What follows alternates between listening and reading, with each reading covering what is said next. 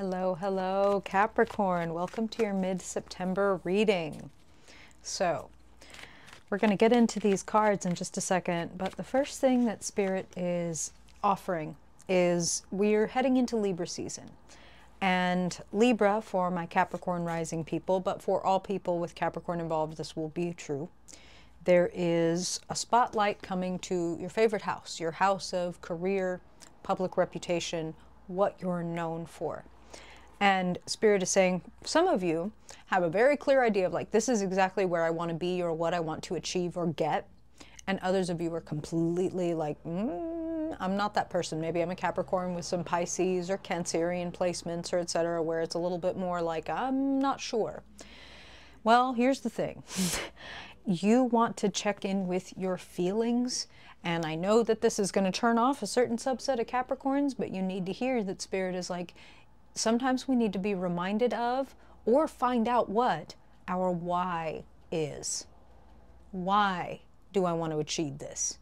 What is it about getting that thing that really like would satisfy me or where would that leave me? Like would I be able to rest? Would it bring me a sense of peace? Would it bring me a sense of accomplishment? Would it let me whatever?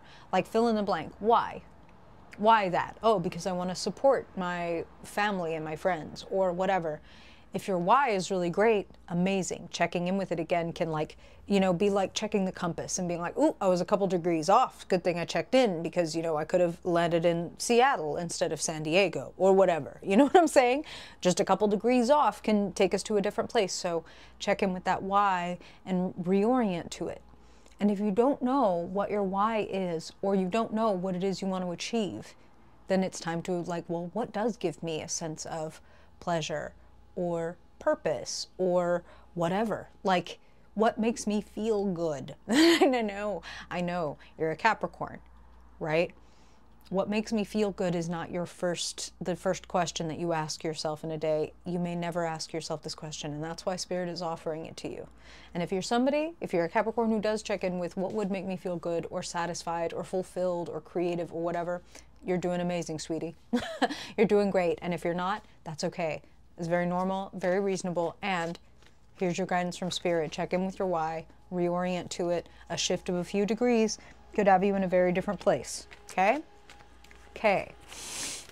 So let's get into these cards. Let's get into mid-September for my Capricorn people. Capricorn sun, Capricorn moon, Capricorn rising. That is the loudest bus in the world. Can you hear that, Capricorn? My apologies. My goodness. Oh no, and there's a white guy with dreads on the side of it. This is all wrong. okay. Capricorn in mid-September. Capricorn in mid-September. Thank you, Spirit. What do my Capricorn friends and family need to know? Capricorn Sun, Capricorn Moon, Capricorn rising and dominant people, 10th house, dominant people, spirit. What do all those who carry the archetype of Capricorn have in common right now? We want to know how is Capricorn showing up and what is their focus? And we want to know what you would want to make them most aware of about it. What you would point out to Capricorn at this point in their journey in order to help them step into their highest good spirit, a feeling of peace, abundance, ease, fulfillment, joy for Capricorn people spirit. In the back half of September, what do you want to point out to them for their highest good? Let's see what we got here. Six, perfect. Capricorn. Capricorn Sun, Capricorn Moon, Capricorn Rising. Spirit never ceases to amaze me. We gotta check in with that why. We're getting a little bit constipated. Checking in with that why is gonna change fucking everything wow, and checking in with your emotions. Spirit just really fucking never ceases to amaze me. So apologies if you've never been here before, Capricorn. In fact, maybe more apologies if you have, because you've probably heard me say this a million times, but it never ceases to be true. So, you're showing up as the Nine of Wands. Your focus is on completing something, getting to the end with something. Some of you are trying to get out of somewhere, some of you are trying to get to somewhere. And they're kind of the same thing, really, when you think about it, right? A door that's, you know, trying to get out of this door and into that one. So, Nine of Wands would tell you don't give up. There are a number of other things sitting here in your cards, you can see, that say don't give up. You are actually on your way. I mean, can we just spoiler alert and jump to the long term future of Ten of Cups? Joy, fulfillment, feeling surrounded by people who love and appreciate you. I'm feeling like Spirit is saying overwhelming gratitude. So just feeling so well resourced and appreciated. And especially with that Four of Wands, my goodness, this is a lovely, lovely reading, Capricorn. The call is coming from inside the house, okay? Because everything around you is looking pretty fucking gorgeous. So let's look at the current situation Six of Cups. We need to look at your feelings, we need to look at your why. Some of you are looking at the past longingly. Some of you are searching for your why there. It feels like there has been a time when you felt more satisfied or more like things were going to go really well or things could get better. And you've been in a little bit of a Nine of Wands state for a little too long. It's exhausting. It's exhausting staying like, Spirit is using actually the word hypervigilant. So some of you may just be extremely type A. Some of you may be all the way to, okay, we're like, we might have some like CPTSD symptoms with some hypervigilance and some like, uh, I can't go to sleep because I got to stay awake and make sure I don't feel stuff. you know what I'm talking about? Well, Six of Cups says there's all kinds of loving support. Some of you may have very prominent siblings or friends that you've had for like decades, where it's like, this is my forever person. This person is basically family. I'm seeing lots and lots of um, indicators for family or chosen family. Like we would do anything for each other. This person would wipe my ass if I had major surgery and couldn't do it. That's the type of energy. That's how it's coming through. What can I say? Um, you have so much love in, in your life, Capricorn. And I want to say, for those of you for whom that does not resonate, and there's nothing wrong with you if you're like, I don't have family, dude. I don't have a lot of friends around me or have a community that I connect with. This would, all of your cards here indicate that that is available for you. That it is within arm's reach that if I just reach out, that community is available. And that doesn't have to be your blood family. That doesn't even have to be people in your immediate vicinity.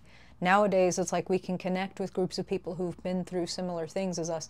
Like literally, you could just um, like go looking for groups. Like, okay, look, I'm a geriatric millennial. Okay, I don't even go on Facebook, but I do know that there are some pretty fucking fire groups on Facebook for like Capricorn Moon support group or whatever. You know what I mean? Even stuff like that where it's like, thank God, at least these people get it. And the memes they're posting about like needing to hold my emotions inside so I can finish this shit are at least making me feel somebody sees me, somebody gets me. So it's available to everybody. It just depends on what form it takes, okay? Nine of Cups in the situation arising, wishes coming true. The one thing that I would say here, because this is like gorgeous energy, is watch out for resting on your laurels. Watch out for, I think I've done enough. I don't really need to do any more growing, or I don't think I need to do any reaching out, or I don't think I need to. There's a little bit of constipation. A little bit of constipation here. Let's talk about the heart of the matter. Four of Pentacles. So the heart of the matter is you are richer than you think you are. You are more well resourced than you think you are. You may be feeling or telling yourself that like there's nobody but me. Nobody but me can do this or handle this or nobody gets me or cares except for me and it's like that couldn't be further from the truth. And I'll say it Capricorn at the risk of, of offending your cheeseometer, the cringe cringe cringeometer is like I'm a stranger on the internet looking into a lens, but I care. I'm not trying to make any money off of you. I'm not trying to get you to get a personal reading or whatever. Like, like you are worthy. There are people in the world who would care about you, never knowing your name, never having anything, you know, quote unquote, invested in you, expecting returns on that investment. Some people are just invested in you because they want to see you happy. We exist. Four of Pentacles, you're richer than you think you are, and there's no way, you know, no quicker way to feel poor than to start comparing yourself to other people. And Spirit is like, please remind yourself that if you're going to start comparing yourself to other people, that there's a whole other side of the coin that you might be forgetting about. So it's like, while you're comparing yourself to people who are better off, are you actually, you know, maintaining some equilibrium of perspective by thinking about the people who are worse off? Just a thought. It's like, while we're comparing stuff, let's make sure that we're being real honest with ourselves so that we are not putting ourselves in an unnecessary place of financial uh, constipation. Four of Pentacles, you know, that is about money. It is about work. It's about resources. So how are you putting your resources to work and are you withholding some of those resources? Are there certain gifts or skills or ideas that you might be holding so close to your chest that they don't have, you know, the opportunity to be witnessed and appreciated by other people?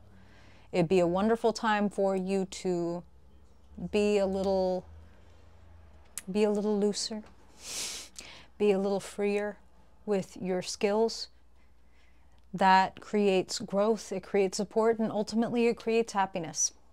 Short term future, Four of Wands, again, another card for family, whether blood or chosen. Feeling seen, celebrated. I feel like some of you will have something to celebrate between that and the Nine of Cups and the Ten of Cups, where it's like new job or, you know, finally got to the finish line with that big project, this Nine of Wands thing. Um, oh, marriage anniversary, that kind of thing, where it's like, wow, look how abundantly loved I am. And again, if you're not feeling abundantly loved, now is the time to start resourcing yourself and finding things in people your why, what you want to connect with, what you want to celebrate, what you want to bring more of into the world, or just feel more of in your own daily life. Like, damn, I miss my friends, or whatever. Like, okay, well, I need to reach out and connect with some people and create some opportunities. You flourish you flourish. This is a reading of flourishing. as long as you take this Four of Pentacles energy, anywhere that you feel like you are comparing what you have to other people and telling yourself that you're not enough or that you're too much, I'm not enough, I'm too much, take off both of those. I am.